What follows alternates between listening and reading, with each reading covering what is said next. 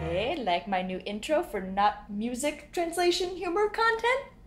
Yeah! What's going on, everybody? My name is Malinda Kathleen Reese, and today is my birthday! Woo!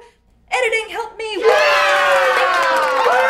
And I have been getting so many requests from you guys to translate recipes. So take recipes, translate them into a whole bunch of different languages using an online translation software, and then translating it back into English and trying to make it. So I figured today, why don't I let Google Translate make my birthday cake? I have here with me a recipe from addapinch.com and they claim to have the best chocolate cake recipe ever. We'll see about that. Let's go. Directions. Right. Preheat oven to 350 degrees Fahrenheit. The first 350 foreskins.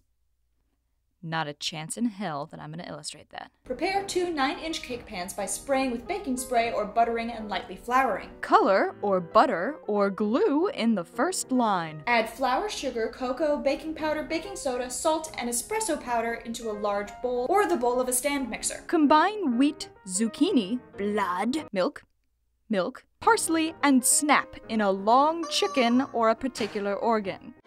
Whisk through to combine, or using a paddle attachment, stir through flour mixture until combined well. Avoid mixing, or simply use the pill to mix it well. Add milk, vegetable oil, eggs, and vanilla to flour mixture and mix together on a medium speed until well combined. Pomegranate, vegetables, eggs, and volatile dough will grow faster and faster. Reduce speed and carefully add boiling water to the cake batter until well combined. Get closer and get ready to bring warm water until it mists the seasons too. The cake batter will be very thin after adding boiling water. This is correct and results in the most delicious and moist chocolate cake I've ever tasted. The game is good and the water is very rich. This is what I have tried to do with a happy, happy, scare, scare. Distribute cake batter evenly between the two prepared cake pans. Cooked kiwi meet together with these two cookbooks. Bake for 30 to 35 minutes until a toothpick or cake tester inserted in the center of the chocolate cake comes out clean. Cook in the center of the chocolate cake for 30 to 35 minutes until you add a toothbrush or a card tester. Remove from the oven and allow to cool for about 10 minutes. Remove the bark and the scurry for 10 minutes. Remove from the pan and cool completely. Swallow the pan completely and swiftly. Frost the cake with chocolate buttercream frosting. Frost frost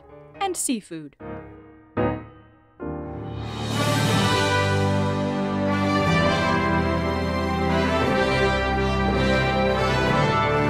I mean, hey, we made a salad. I mean, if this was edible, like, this would be the healthiest cake you've ever had.